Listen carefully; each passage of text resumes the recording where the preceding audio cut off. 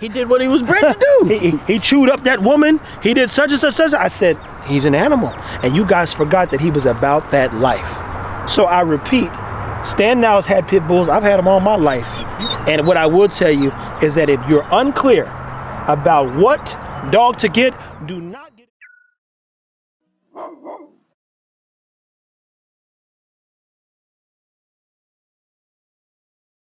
Guys, Tifa here with Fitbully TV. I don't know why people keep asking me about behavior. I didn't told y'all I'm not a behavioralist. And if I'm being candid, honest, and uncanny, a dog trainer, all there is is a person who helps you talk to your dog because you ain't never had a conversation with a dog. Some of y'all can't even talk to the people sitting next to you. So you say, hey, what's my dog thinking? I don't fucking know. But I can tell you what you shouldn't do and what you should do. Now, we have Boots and Iron Sharp K9 Stan out here today. And what I love about Boots is, go ahead and drop that, man. Boots will pick it up. He could tell him to leave it, etc. Out. And look, you see that dog? He's looking for direction. Hey, what do I do? Let me tell you this. Ego's never gonna look at me and say, what do I do? He's like this. I know what to do. and he gonna be on that pillow destroying it for 20, 30 minutes. Uh, that's an Australian Shepherd, right? Yeah, but this goes back to what the dogs were originally bred for. They had to listen to herders being told push them this way. You ain't listen to somebody in a fight. Exactly. And what the bully and the pits were bred for originally was not to listen to Hey, somebody look, else. They used to breed gangbangers back in the day. Think about a, a bully and pit bull, and them jokers is throwing up gang signs. Let that gang member out, bro. gang, gang. and guys, look, I don't support or affiliate myself with any of those colors. but here we are. Now, what I love about this, and again, let's just take a walk. And bring Boots with you. Come on, Boot. There you go. You see right here? He's running around, he's thinking, he's left the toy alone.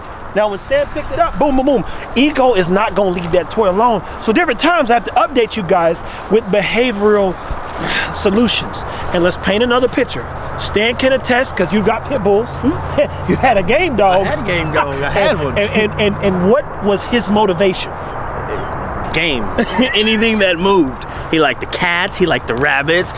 he, he fancied another dog if he could, um, but he didn't really care about what I wanted him to care about. And I had him for about almost three years, and he just didn't care the same way that this dog does in, in what, how, 16, 17 months. Yeah. it's a completely different dog. And even at four months old, I would trust him. I trust him more than I trust Rocco at four months old, just because he was looking for direction versus Rocco and the bully style dogs looking for something else to do. Now, Stan, can we can we get your honest opinion? Of course. Would you ever recommend somebody get a game dog or a pit bull if they are if if, if they were like un like didn't know what they would do like whatever you do, being that you come from look I gotta have a pit, I want one of them gang bangers, and now as your life has changed, uh, family, fun, and peace become the priority. You say. I need some peace. I mean, I personally will never probably own another blockhead dog because I got Hero. He's probably gonna live for about 15, 16 Man years. say. But Hero is the best of you know some Both both, worlds. worlds. that we could get.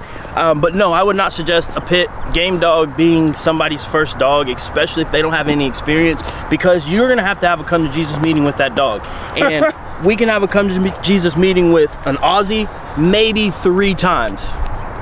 Juice was 30 like and he did it And didn't when he matter. say come to Jesus, look, we ain't talking about Donkey Kong Kid, but look, Juice came up the leash on Stan.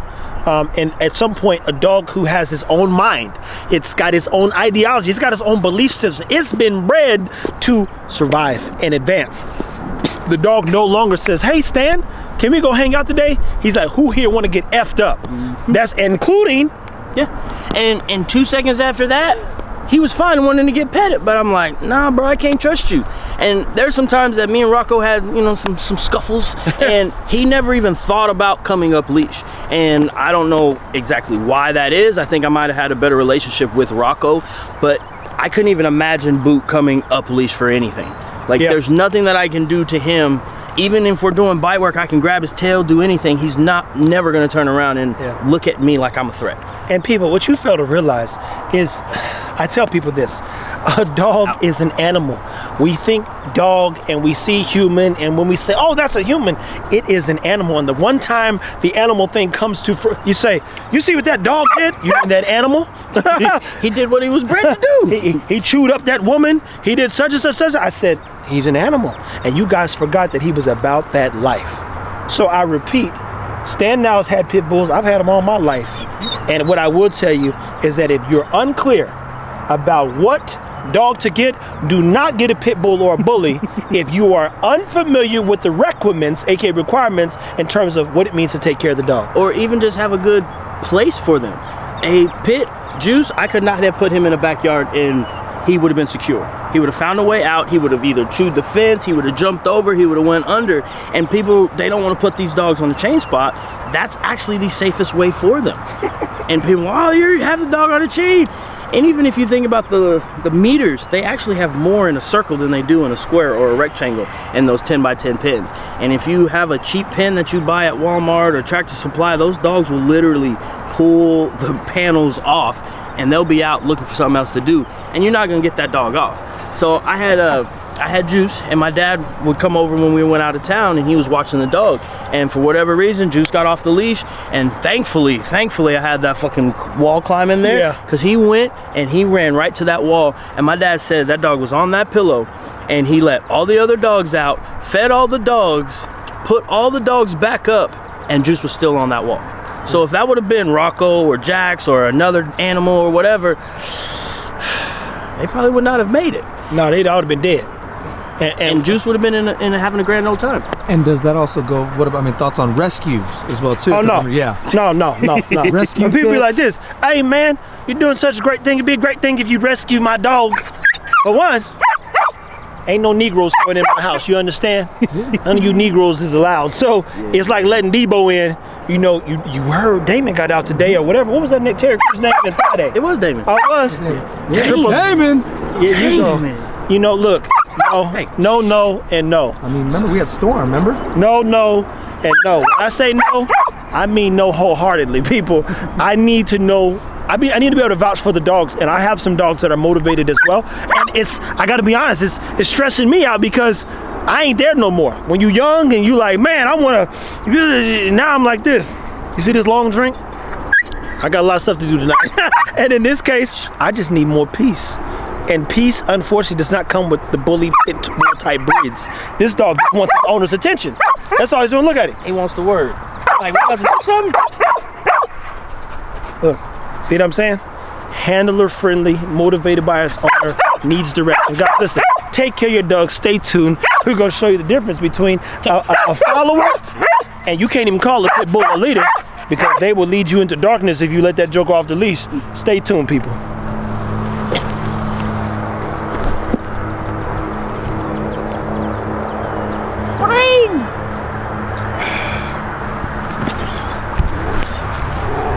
So you can see the difference from Ego versus little Booter. So we're gonna throw that over there. And what is Ego paying attention to now?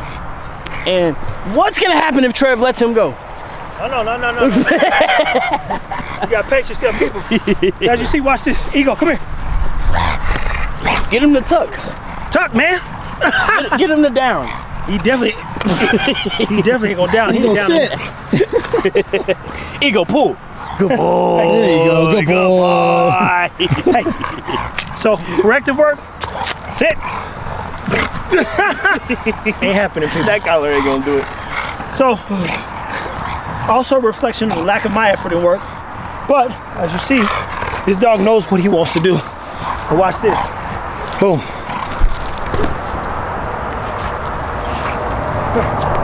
He ain't gonna go get in the shade. Smart enough to get in the shade. Let's get this camera in the shade too while we talk a little bit. So, you have a bully breed. You have a highly motivated dog. Hopefully this food don't get in no poison ivy. 'Cause believe me, believe it or not, that stuff's transferable to humans when it comes off of the dog. I ain't got time for that. Walking through all these woods. When you see him back there tearing stuff up, that's what a terrier would do, people. He no longer comes back, checks in. What did Boots do? We watched Boots put the pill up and he brought it right back to his handler because he's looking for guidance, instruction. What do you want me to do next? He goes like this. See him back there? I know what I'm doing. He's literally having the time of his life. No motivation whatsoever. You don't need to motivate him because that's what he was designed to do. And that's the difference. Ego, come here. Look at this. He's in a different world right now, people. You get a pit bull bully type breed, man, they are highly motivated because they have their own idea of how life should be. So what is he doing? He going further and further back. I'm not going back there. Yeah, you can't take it. You can't even do nothing at this point. And he just wandering around trying to take it deeper and deeper into the woods. So we had to come back there and get us some poison ivy on us. And I don't got time to be identifying every uh, leaf back there. Well, that's why you got these boots. You got, they call them shit kickers. There you go. So put in perspective, you've got a bully, you've got a pit bull type dog. They don't care normally about what you want them to do. If they have prey drive and they're motivated, they're going to stay and be motivated in general. I would encourage you to continue to find ways to keep the dog stimulated, which is a whole nother conversation because you will you will run into Bro, man from the fifth floor.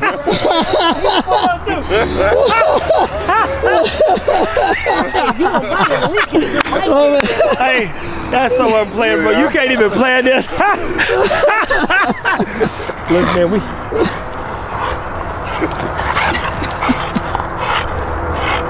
Sit. stay. Stay. Nope. He don't listen, people, and that does that's again that's a reflection of lack of my effort and work. But at the same time, this is a dog who he's got more terrier base in him. He wants to do what he wants to do. Stan's gonna work him up a little bit. Yes. And I tell you, man, the more you make him work, the harder he bites. He's got that whole pillow in his mouth. People want a dog like this, but I repeat, you don't want a dog like this. I'm telling you, I don't want a dog like this. About four or five years ago, I thought I needed to be in this space, and I needed this. I don't have the energy for it anymore. And I actually love coming out and messing with the dogs. I just want a dog that listens. I when I read about the GSP, they say it's a dog that will sit at your feet five, six, seven hours and just be want to be with you, and then it'll go out and hunt too. This dog, he's on a whole different mission, man. So stay tuned. Keep taking care of your dogs. We remember if you're uninformed, uneducated on the bully and pit bull type breeds, do not get one. They are a huge responsibility, which is also why they end up in shelters. And literally, people messaging me almost daily now, which is scary. "Hey, can you take my dog?" I sure can't, bro. I sure can't. I don't know why you think I got the time and energy for it. It's too much damn work. Take care of your dogs.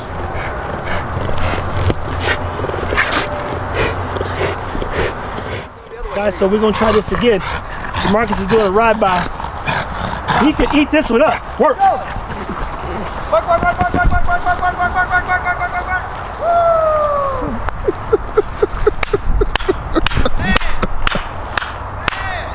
Hey, I ain't got no words for you people. You didn't make them work. Stan's gonna get him. Oh, my bad. You didn't make it work. Look, stand tight. Hey, like this.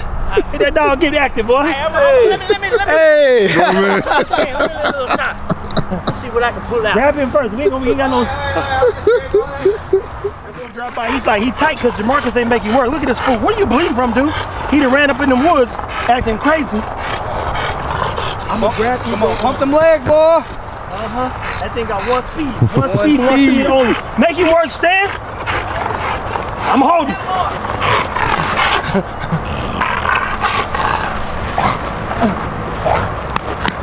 work.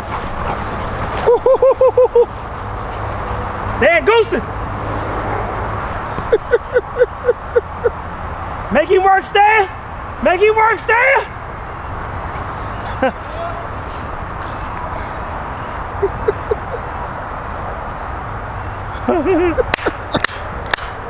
Hey y'all, look, that wasn't the intent of the video as I said, but here we are. Hey, boy, Stan took him down there, bruh. Hey, you gotta make him work. Sheesh.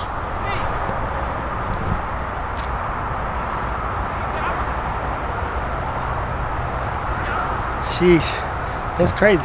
He done for. He done for, bro. he done for. You can't even see him in the frame, bro. Nigga, I know. This is crazy.